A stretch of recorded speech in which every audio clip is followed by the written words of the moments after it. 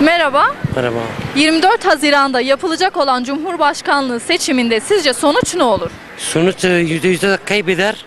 Zaten Batı'da Cumhurbaşkanı vermeyecek, Doğu'da HDP verecek. Üçüncü turda da üç parti birleşecek. Tayyip Erdoğan gidecek orası. Teşekkür ediyoruz. Tayyip Baba olur kim olacak? AK Teşekkür Parti. ederim. Biz teşekkür ediyoruz sağ olun. İnşallah memleketimiz için hayırlı olur. 3-0 AK Parti alacağını tahmin ediyorum. İnşallah hayırlı olur. Tüm vatana, millete, memleketimize hayırlı olur. Başta çocuklarımız için hepinize teşekkür ediyorum şimdiden. Biz de çok teşekkür ediyoruz. Benim bildiğime göre sonu Cumhurbaşkanı kazanır. Ama milletvekili tek e, iktidara geçmez tahmin etmiyorum. Cumhurbaşkanı Recep Tayyip Erdoğan kazanır diyorsun. Kazanır yüzden 99. İnşallah Allah'ın izniyle o kazanır. Yalnız e, milletvekilinin seçimi biraz tehlikelidir. Bence sonuç e, AK Parti kazanır. E, fakat meclis çoğunluğu şu an şüpheli. Ama Cumhurbaşkanlığı e, bir farkla kazanacağına inanıyorum. Meclis meclis için şu an bazı dengeler tam oturmadığı için net bir şey söylemek mümkün değil. Ama Cumhurbaşkanlığı büyük ihtimalle kazanır. Tahmin yapılmaz yani sana doğrusunu söylesem falan. İnsanların şeyleri belli olmuyor.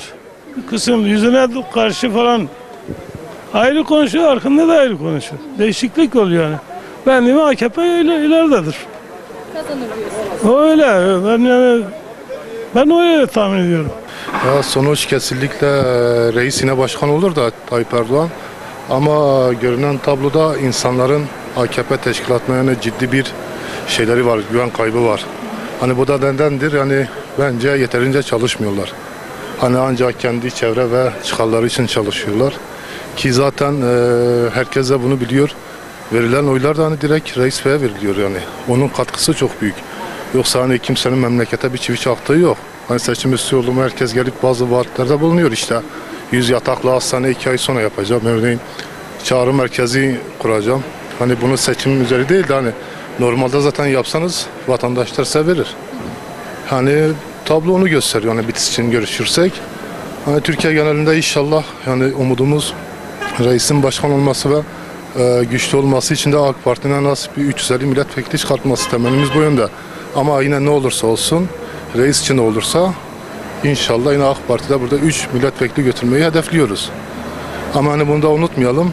Hani vekiller biraz daha fakir halka insinler. Yani gördüğümüz hep zengin halka işte iftar yemekleri, pahalı restoranlarda artık kimin ne çıkarı, kimin menfaati varsa bilmiyorum.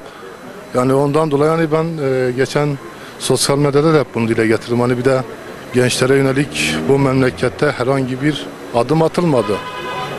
Tamam da hani, hani gençler sana, sana oy verecek gençler. Ha bunu da unutmayalım. Şimdi burada seçim belirleyecek, e, belirleyecek unsur da gençlerin oylarıdır. Ha, bu da gösteriyor hani gençlerimizin çoğu hani diğer tarafa kaymaktadır. Hani bunu da bilsinler. Ona göre e, kısa kalan bir sürede bunun üzerinde bir çalışma yapsınlar. Yoksa hani AK Parti bitse hani ciddi bir oy kaybına sebep olacaktır. Valla tahminimce e, Türkiye'nin gidişatı güzeldir. Cumhurbaşkanı e, halk e, Recep Tayyip Erdoğan'ı gerçek manada seviyor. Ben tahminimce yine Cumhurbaşkanımız Recep Tayyip Erdoğan kazanacak. O görüşteyim, o tahmindeyim. İnşallah iyi olacak. İnşallah iyi olacak. Hangi parti kazanır sizde? Hangi aday kazanır? Benim görüşüme göre Tayyip kazanıyor. Ama ben burada olsa ADP vereceğim. İstanbul'da oturuyorum Tayyip'e vereceğim. Hangi aday, hangisi hayırlıysa o olsun.